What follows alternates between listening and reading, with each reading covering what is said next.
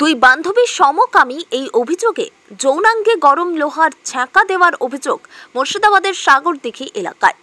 অভিযোগের ভিত্তিতে তিন অভিযুক্তের মধ্যে সাহেব ওরফে সাহিবুল নামে এক যুবককে গত রবিবার রাত্রে গ্রেপ্তার করেছে সাগরদিঘি থানার পুলিশ। মঙ্গলবার রাত্রে আর এক অভিযুক্ত যুবক কদম বসুল মল্লিককে গ্রেপ্তার করতে সক্ষম হয়েছে পুলিশ। বুধবার ধৃত ওই যুবককে সাত দিনের পুলিশি হেফাজত চেয়ে জঙ্গিপুর মহকুমা আদালতে পাঠায় পুলিশ।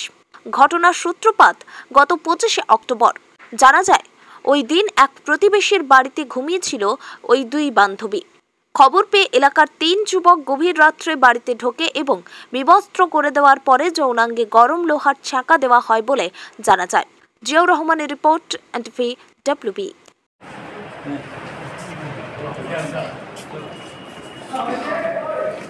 চপ্পল নেব দিলাম যে দিলাম যে আরে কি জি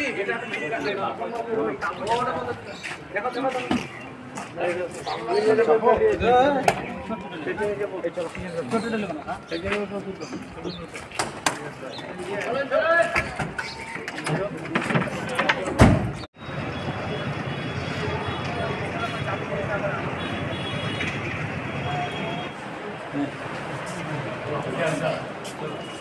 স্যার চপ্পল নেবো স্যার দিলাম যে দিলাম যে আরে কি জি ছোটটা নেবো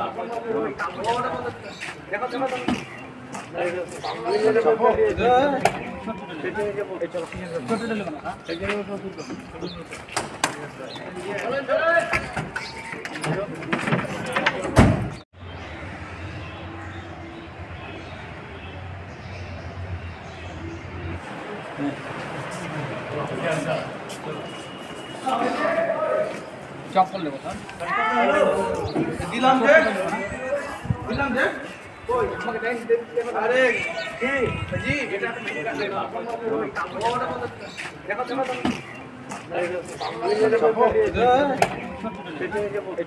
ছোটটা নেবো না স্যার